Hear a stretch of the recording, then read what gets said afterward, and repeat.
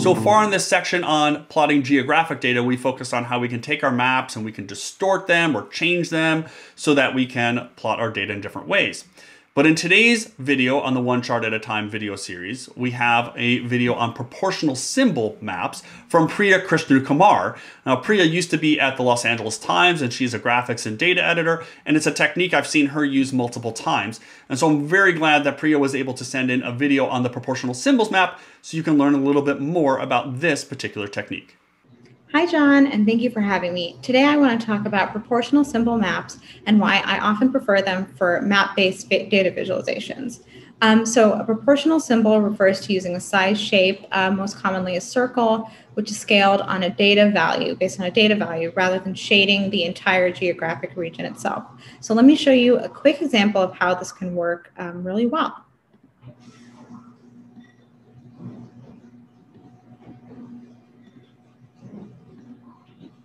Okay, so here we have the New York Times presidential election results for 2016 when Donald Trump won. Um, so this is what's known as a choropleth map. Uh, this shows the results for the winner in each county, and the county shape itself is shaded on the margin of victory. And while this is a useful way of looking at the election results, it doesn't always give you a complete picture. Looking at this map makes it seem like it was an overwhelming victory across the entire country for the president, with wide swaths of the country shaded this deep, dark red. However, if we switch to a proportional symbol map, we'll see a different view of the results that may tell a more complete story. Okay. So here, the size of each circle is proportionate to the amount that the county's leading candidate is ahead by. And while both the choropleth and this proportional symbol map are technically accurate, this map does a better job visualizing areas with denser and higher population, uh, which the choropleth map doesn't account for. Proportional symbol maps are often really well utilized in elections results mapping because it helps tell a clearer picture of where a candidate picked up higher total vote margins. So when deciding whether or not to use a proportional symbol map, it's important to take into consideration what you're trying to show. If there is a major population variance across the geographic area, which there is in the United States, using scaled symbols can do a better job of representing high density populations. They're useful for showing margin sizes as well, like showing where a candidate overperformed or maybe underperformed their expectations.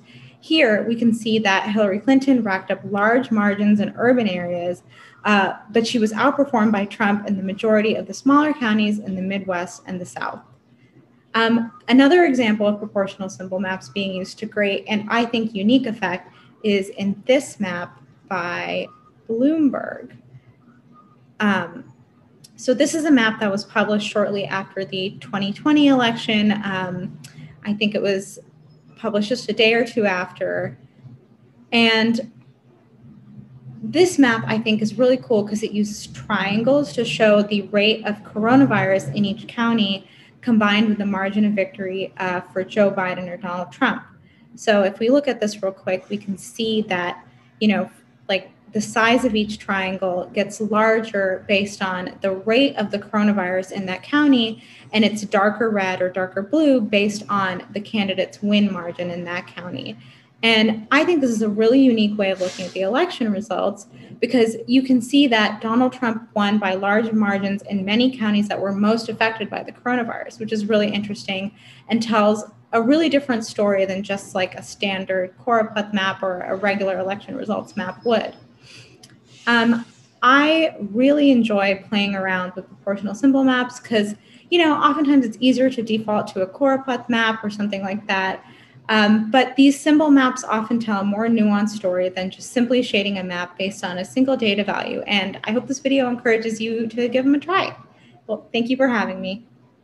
And thanks, Priya, for that great review of the proportional symbols map. I'm sure you have seen maps like this out in the world, and I hope now you know a little bit more about this technique and how you can use it to visualize your own data.